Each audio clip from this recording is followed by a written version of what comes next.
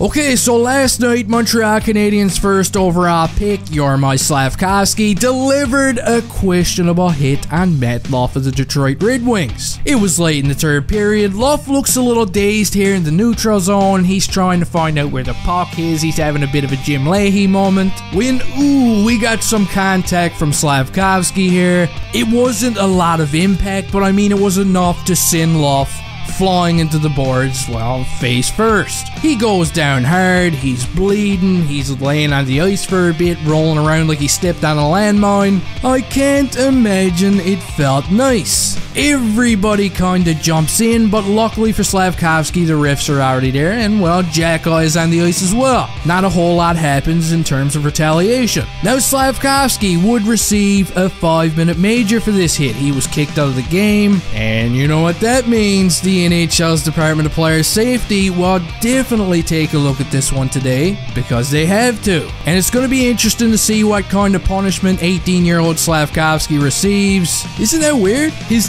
10th game in the NHL, and he's already possibly receiving his first suspension. Let me know down in the comment section what you think of this. Only a few games ago, Slafkovsky was actually on the receiving end from a very similar hit. Compliments of Rossi. Both of these plays were more like pushes, you know, rather than actual body checks. But I mean, at the end of the day, the result was way different. I think Slafkovsky's hit on Luff was worse. I think he's going to get a game for this one. Just one game. The Wings have already confirmed that Luff is, in fact, hurt. He's not going to be back anytime soon. And, you know, that's probably going to play a factor in this one as well when the DOPS is playing paper, scissors, rock to pick a punishment. So if Slafkovsky is suspended, oddly enough, it'll be the Canadiens' second suspension in two games friggin' Josh Anderson was already missing from this one due to his suspension in the previous game hitting Alex Pietrangelo. So yeah, things have been pretty wild lately. Let me know what you think of this one down in the comments section. Do you think Slafkovsky will get suspended? How many games do you think he's gonna get?